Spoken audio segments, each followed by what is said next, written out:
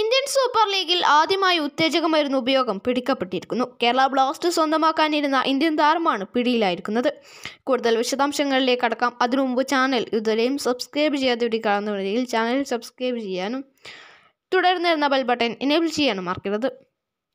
Indian super ലീഗിൽ Kerala Blasters സ്വന്തമാക്കുമെന്ന് വലിയ തരത്തിൽ റൂമറുകളുണ്ടായിരുന്ന എ ടി കെ താരമായ അശുതോഷ് മെഴുത്തിയാണ് പിടിയിലായിരിക്കുന്നത്. താരത്തിന് ഫുട്ബോളിൽ നിന്ന് രണ്ടു വർഷത്തെ വിലക്കും ഏർപ്പെടുത്തി. നാഷണൽ ആന്റി ഡ്രോപ്പിംഗ് ഏജൻസിയായ നാഡയാണ് ലഹരി ഉപയോഗത്തിന് വിലക്ക് ഏർപ്പെടുത്തിയിരിക്കുന്നത്.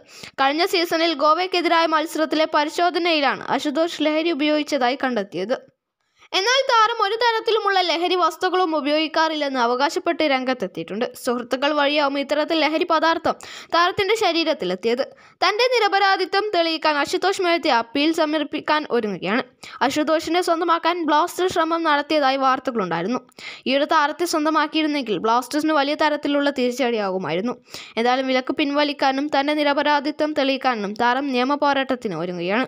വീഡിയോ അവസാനിക്കുകയാണ്. ഇന്ത്യൻ ഫുട്ബോളിനെ കുറിച്ചും കേരള ബ്ലാസ്റ്റേഴ്സിനെ കുറിച്ചുമുള്ള കൂടുതൽ റിപ്പോർട്ടുകൾക്കായി ചാനൽ സബ്സ്ക്രൈബ് ചെയ്യാനും നിങ്ങൾക്ക് വീഡിയോ ഇഷ്ടപ്പെട്ടു എങ്കിൽ ലൈക്ക് ചെയ്യാനും ശേഷിയാണ് മറക്കരുത്. മറ്റെവിടെയുമായി വീഡിയോ എത്താം. നമസ്കാരം.